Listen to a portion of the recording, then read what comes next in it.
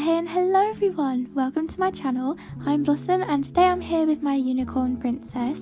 In today's video we are going to be sharing some really exciting information. Okay, so today Adopt Me posted on their Twitter account and on their YouTube channel that they will be having another update this week, which is so exciting and it has something to do with the VIP room. However, before we talk about the VIP room update, I'm going to talk about the new house which is going to be added. So Adopt Me will be adding an eco-friendly biodome which involves a green space, a pond, a cozy wooden home that you can decorate and there's five rooms to decorate which is amazing. This honestly looks so beautiful. And they're also going to be releasing some 1950s inspired furniture for us to use to decorate this area which is also very interesting.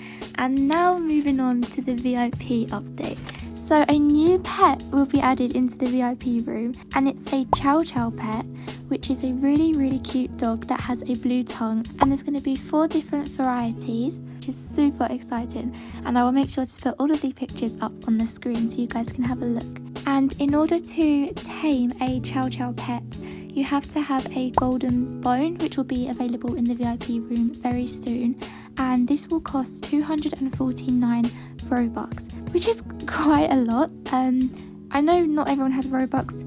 Don't worry, I don't actually have any Robux at the moment either, and I don't have VIP either.